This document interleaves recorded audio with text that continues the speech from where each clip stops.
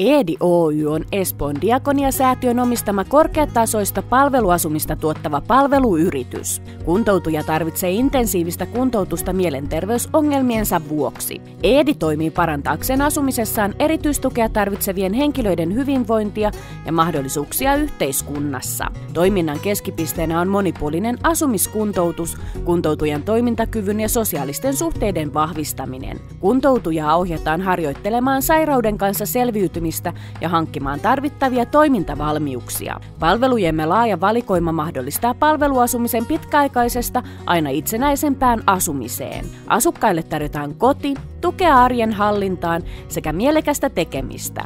Asuminen on yhteisöllistä, yhteinen ruokahuolto, yhteiset oleskelutilat ja toiminnalliset ryhmät mahdollistavat asukkaiden keskinäisen vuorovaikutuksen. Jokaisessa ryhmäkodissa olevissa yhteistiloissa on oma keittiö, oleskelutilaa, ATK-piste ja niin edelleen. Talon yleisiä tiloja ovat saunatilat, ruokala, ryhmä- ja kokoustilat, pesula, kuntosali ja säilytysvarastot. Tehostetussa palveluasumisessa toimintarajoitteinen kuntoutuja tarvitsee jatkuvaa kuntoutusta, hoivaa ja huolenpitoa.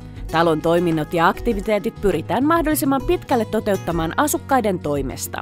Asuminen perustuu kuntoutussuunnitelmaan. Edin henkilökunta on moniammatillista ja paikalla ympäri vuorokauden. Tervetuloa asumaan Ediin!